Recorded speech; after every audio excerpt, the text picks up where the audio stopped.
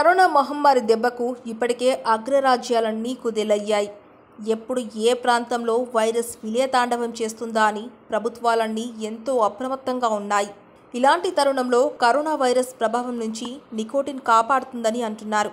Corona virus సోకకుండా దాని ప్రభావాన్ని తగ్గించే శక్తి పొగాకులోని నికోటిన్కు ఉందని ఫ్రాన్స్లో చేసిన రీసెర్చ్ ద్వారా తేలింది. మేజర్ ప్యారిస్ ఆసుపత్రిలో జరిపిన పరిశోధనల్లో పొగాకులోని నికోటిన్ కరోనా సోకకుండా అడ్డుపడుతుందన్న విషయం స్పష్టంగా తేలిందని అధ్యయనకర్తలు చెబుతున్నారు.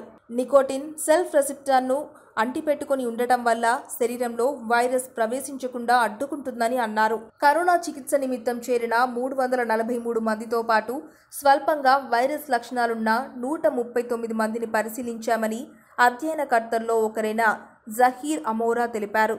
ఫ్రాన్స్లో ముప్పై ఐదు శాతం మంది ప్రజలు స్మోకర్లేనని పొగ తాగే వారిలో నూట యాభై మందికి పైగా వ్యాధి సోకాలని కానీ అది జరగలేదని జహీర్ అమోరా అన్నారు.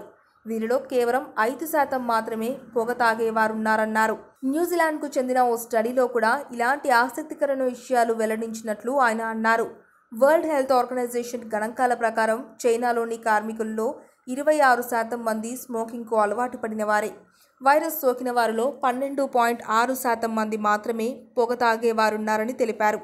పారిస్లో కరోనాతో ఆసుపత్రి పాలిన పదకొండు వేల మంది రోగుల్లో ఎనిమిది పాయింట్ ఐదు శాతం మంది స్మోకర్లు కాగా దేశవ్యాప్తంగా వీరి సంఖ్య ఇరవై ఐదు పాయింట్ నాలుగు శాతంగా ఉంది. నికోటిన్ తీసుకునే వారిలో కరోనా ప్రభావం తక్కువగా ఉన్నట్లు ఈ గణాంకాలు చెబుతున్నాయి. నికోటిన్కు మానవ శరీరంలో ఉండే కణ గ్రహకాలను పట్టుకొని ఉండే లక్షణాలు ఉన్నాయని కరోనా సూక్ష్మజీవిని కూడా అలాగే పట్టుకొని ఉంటుందని ఇతర శరీర భాగాల్లోకి వెళ్ళకుండా అడ్డుకుంటుందని న్యూరోబయాలజిస్ట్ జీన్ పేర్ తెలిపారు.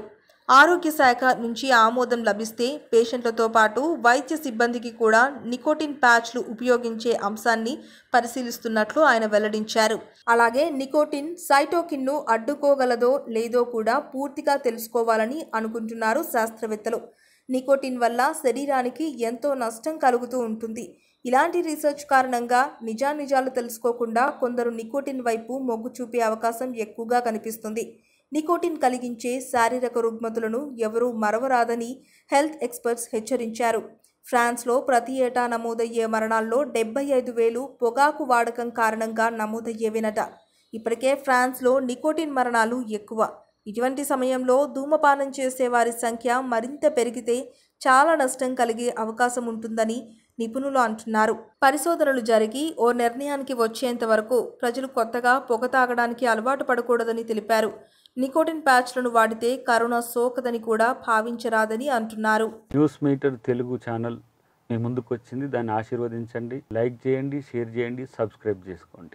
హాయ్ అండి this is Paddu Padmavathi please subscribe news meter Telugu Hi viewers, this is Ashita Chaudhary. For more updates, please subscribe News Meter Telugu.